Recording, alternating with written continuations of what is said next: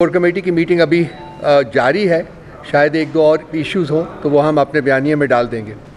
लेकिन as always जो core committee की मीटिंग का आगाज़ किया था, हमारी जो लीगल टीम है, उसने खान साहब के जो केसेस हैं, उनकी मुख्तफ अदालतों में जो पोजिशन है, उसके बारे में एक डिटेल्ड ब्रीफ उन्हें हमें दिया।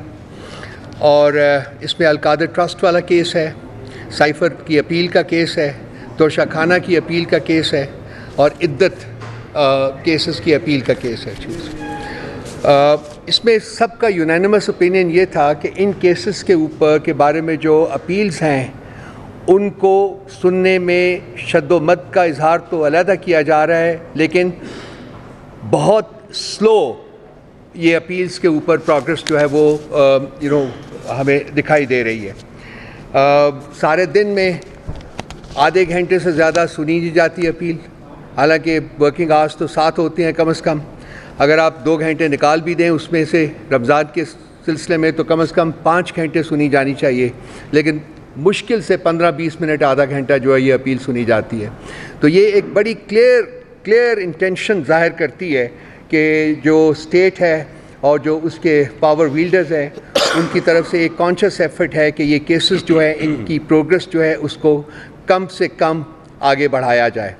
तो इसके बारे में शदीद हमने प्रोटेस्ट किया है और इस सिलसिले में ख़ासकर जो चीफ़ जस्टिस आमिर फ़ारूक साहब हैं chief justice of Islamabad high court उनका जो कॉन्डक्ट रहा है, उसके बारे में शदीद खदशात जो हैं, वो कोर कमेटी के मेम्बरान ने उनका इजहार किया है। वो हर केस में एक जज के तौर के ऊपर शामिल होते हैं और हर केस को वो इतने स्लोली आगे बढ़ाते हैं कि वो वर्चुअली जो है उसमें जस्टिस का कहीं आंसर नज़र नहीं आता। हमने बसा अवकात जस्टिस आमिर फ़ारूक के बारे में अपने डिस्ट्रस्ट का इजहार किया है। हमने बसा अवकात कहा है कि वो अपने आप को उन केसेस से अलहदा करें जो खान साहब के बारे में हैं। लेकिन वो डाटाई से हर उस केस में अपने आप को शामिल करते हैं जो कि खान साहब के बारे में होता है। तो ये एक और एक बड़ा क्लियर इंडिकेशन है कि इन सारे केसेस में जस्टिस का हसूल, इंसाफ का हसूल जो है वो मकसद नहीं है, बल्कि केसेस को डिले करना जो है वो एक मकसद है। तो इस सिलसिले में हम दोबारा आमिर फ़ारूक साहब से अपील करते हैं कि वो अपने आप को खान साहब के केसेस से अलहदा करें और बाकी जो जजेस इस्लामाबाद हाई कोर्ट में मौजूद हैं, उनको वो केसेस सुनने दें। इसी कॉन्टेक्स्ट में ये भी प्रपोज़ल हमारे सामने आया है कि हम अपना जो पॉलिटिकल कंटेंट है, जो पॉलिटिकल एफर्ट है हमारी, चूँकि हमें जुडिशल फ्रंट के ऊपर हमें उम्मीदें जो हैं वो वर्चुअली दम तोड़ चुकी हुई हैं कंसिक्वेंटली बहुत सारे मेम्बरान ने इस चीज़ का इजहार किया है कि हमें अपना जो पोलिटिकल कंटेंट है, जो पोलिटिकल एफर्ट है, उसको बढ़ाना चाहिए। उस सिलसिले में कुछ फैसले भी किए गए हैं, जो कि मैं आपके साथ थोड़ी देर में शेयर करता हूँ। प्रिजनर्स कमेटी जो है, उसको रिकॉन्स्टिट्यूट किया गया है। क्योंकि हमारे कुछ ख़ासकर ख़वातीन जो हैं वो पिछले 11-12 माह से कैद में हैं। तो हम उनके उनकी फैमिलीज़ का और उनकी अपनी वेलफेयर का हमारी इंसाफ लॉयर्स की जो टीम्स हैं वो उनके केसेस वगैरह भी सुन रही थी सारा कुछ कर रही थी। लेकिन इस सिलसिले में उस कमेटी को रिकॉन्स्टिट्यूट किया गया है ताकि जितनी भी जितनी भी जल्दी आ, आ, इनकी वेलबींग के लिए एफ़र्ट इनकी फैमिली की वेलबींग के लिए एफ़र्ट जो है उसको हम एक्सिक्यूट करें उसको हम इम्प्लीमेंट करें।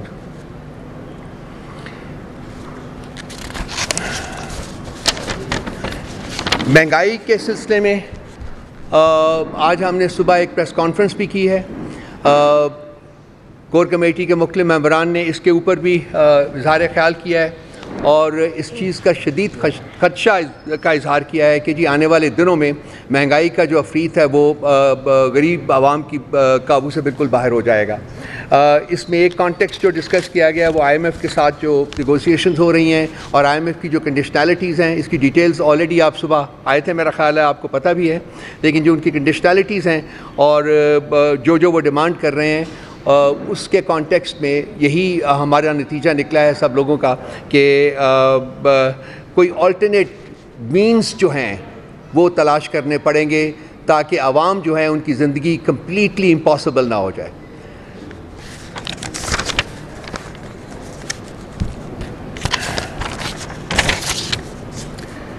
हमारे दो बड़े ऑनरेबल मेंबर्स हैं हमारे डायस्परा के अमेरिका में बेस्ड हैं, सजाद बरकी साहब और आतिफ खान साहब।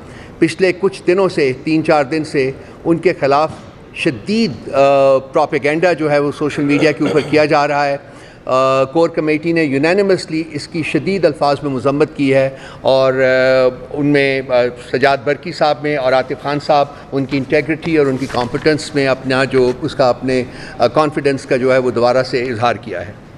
इसके अलावा कोर कमेटी ने आज एक रेजोल्यूशन पास किया है, जिसमें हम राना सनाउल्ला साहब और मरियम औरंगज़ेब साहबा के ख़िलाफ़ एफ़ आई आर दर्ज करवाएँगे। आज कुछ लोगों ने कोशिश की है एफ़ आई आर दर्ज करवाने की, लेकिन बिल्कुल उन्हीं लाइन्स के ऊपर, जिसमें कि इमरान खान साहब को भी अपनी एफ़ आई आर दर्ज करने और अपने जो सस्पेक्ट्स थे, उनको नॉमिनेट करने की इजाज़त नहीं नहीं दी गई थी। आज जिन लोगों ने कोशिश की एफ़ आई आर दर्ज करने में कराने की, उन, उनकी एफ़ आई आर दर्ज नहीं करवाई गई। हमने पुलिस के इस रवैये की शदीद अल्फाज में मजम्मत की है और एक रेजोलूशन पास किया है जिसमें कि पी टी आई की तरफ़ से ये एफ़ आई आर जो हैं वो लॉन्च की जाएँगी और उस सिलसिले में अपने जो हमारे पार्लियामेंटेरियंस हैं उनके ग्रुप्स जो हैं वो मुख्तु थानों में जाएँगे ये एफ़ आई आर लॉन्च करने के लिए। और अगर पुलिस अपनी हटदर्मी के ऊपर कायम रहती है तो हम जो मुतल कोर्ट्स हैं वहाँ उन तक अपनी अपनी अपनी ये, ये अपनी जो रिक्वेस्ट है वो लेके जाएँगे।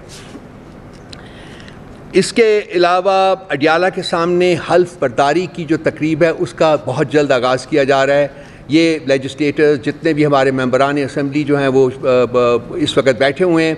वो सब जो हैं, वो अडियाला जेल के सामने जाएँगे और वहाँ धरना देंगे, बैठेंगे और अब हल्फ हल्फ बरदारी जो है, उसका यू नो वो, वहीं उसका वो कंडक्ट करेंगे। इसके साथ साथ अफ्तारी मीटिंग्स जो हैं, उनका आगाज़ किया जा रहा है। दो हफ़्ते रह गए हैं रमज़ान में। तो उस सिलसिले में जो अफ्तारी मीटिंग्स होती हैं उसमें पोलिटिकल डिस्कोर्स भी होता है पोलिटिकल एलिमेंट भी होता है उसका तो उनका भी हम आगाज़ कर रहे हैं। ये तो हो गया वो जो मेजर रेजोल्यूशंस थे। आ, हमारी कोर कमेटी की मीटिंग में आज बास गश्त जो है वो एच कॉलेज के मामला के बारे में भी सुनाई दी है। आ, शायद आप लोगों ने देखा हो कि एक जो आ, कैबिनेट के एक मेंबर हैं, उनकी बेगम साहबा ने अपने दो बच्चों के लिए फ़ीसों के माफ़ी की जो दरख्वास्त दी हुई थी। और वो दरख्वास्त जो है, कॉलेज की इंतज़ामिया ने उसको मानने से इनकार कर दिया था।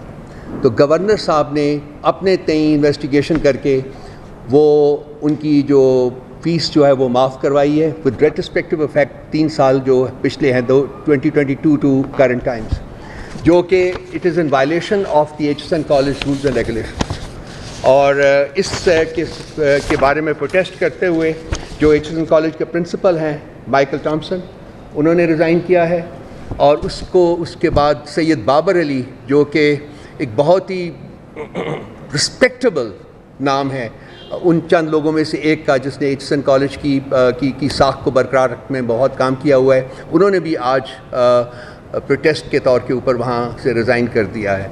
तो ये एक इंतहाई तकलीफ़ दे फेल है जो कि किया गया है। ये रिपोर्ट है पूरी। अगर चाहेंगे तो मैं इसकी सॉफ्ट कॉपी आपको भेज दूँगा। उनका रेजिग्नेशन भी है सब कुछ है कि अपने लोगों को आ, मतलब क्या कहना चाहिए? इनाम देने के लिए आप कोई कानून कोई चीज़ इस मुल्क की जो है वो आ, उस, उस, उस, वो इस काबिल नहीं समझते ये लोग कि उसको आ, रद्दी की टोकरी में न डालें।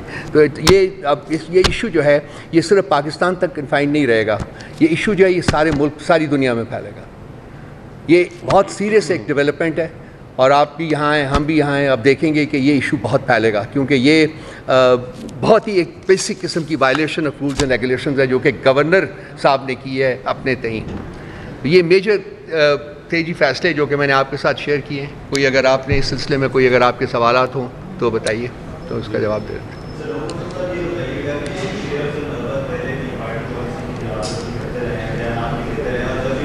ये यहाँ हमारी आज का इस वक्त ये है। निकोर कमेटी में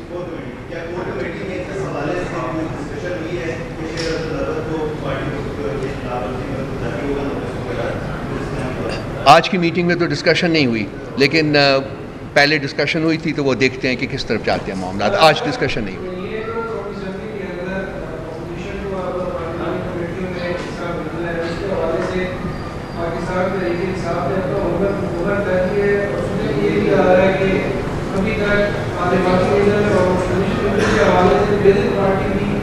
जो रिजर्वेशन है और स्पीकर के पास नहीं अ, हमारा होमवर्क कंप्लीट है और अपोजिशन लीडर के बारे में भी नाम वगैरह सब स्पीकर तक जा चुके हुए हैं। स्पीकर की स्टेटमेंट भी आ चुकी हुई है कि जी अब भी हम मैंने फैसला नहीं किया कि किसको देना है किसको नहीं देना है। बिकॉज़ बेसिकली वो रिकग्नाइज नहीं कर रहे हैं हमें एज अ पोलिटिकल पार्टी ये उनकी कंटेंशन है और हमने ऑलरेडी उनको प्रोटेस्ट किया इस सिलसिले में और मेरा ख्याल है कि हम इस सिलसिले में जो अगले कुछ इकदाम है वो भी उठाने की तरफ़ बढ़ रहे हैं।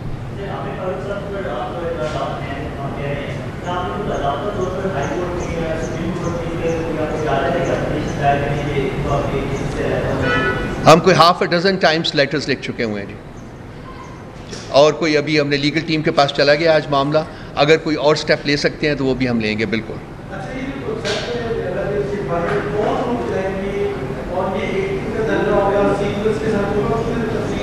कौन सा कौन सी किसकी बात? अडयाला जाल के सामने वो बैठेंगे जी जाके एहतियाज करेंगे वो लेजिस्लेटर्स मैंने कहा था ना लेजिस्लेटर्स जितने भी हैं हमारे जितने भी हमारी पॉलिटिकल लीडरशिप है जो पार्लियामेंट में बैठी है या पार्लियामेंट में कुछ लोग नहीं भी बैठे हुए वो सब लोग इकट्ठे होंगे बारी बारी वहाँ जाके एक सिटिंग करेंगे अडयाला जेल के साथ सब सब लोग जी सब लोग सब लोग ऑल ओवर नहीं ये सब असम्बलीज जितनी भी जो आपकी फेडरल असम्बली है पार्लियामेंट आपकी है पंजाब की असम्बली है के पी से है सब लोग हैं वो आएँगे डेफिनेटली आएँगे जी। इसका मकसद है? जी कि जो नाइंसाफ़ी हो रही है जो जुल्म हो रहा है जो जबर हो रहा है उसके ऊपर अटेंशन जो है वो अ, लोगों की अ, और बढ़ाई जाए। अ, मीडिया जो है वो उसका नोटिस ले उसको उजागर करे। ये इंसाफ के तकाजे जो हैं वो बिल्कुल मीट नहीं किए जा रहे। खान साहब ने कोई जुर्म नहीं किया किसी किस्म का कोई जुर्म नहीं किया। ये तमाम फेक हैं केसेस जितने भी हैं फ्रिवलस केसेस हैं फ्रॉडुलेंट केसेस हैं। और टॉप ऑफ़ दैट ये कि जी जो इंसाफ के तकाजे उनकी हेयरिंग में है वो भी पूरे नहीं किए कि जैसे कि मैंने डिटेल्स बताई हैं। तो ये उन्हीं चीज़ों के ऊपर जो अटेंशन है वो उनको फोकस करने के लिए ही एक एफर्ट है जो कि हम स्टार्ट कर रहे हैं।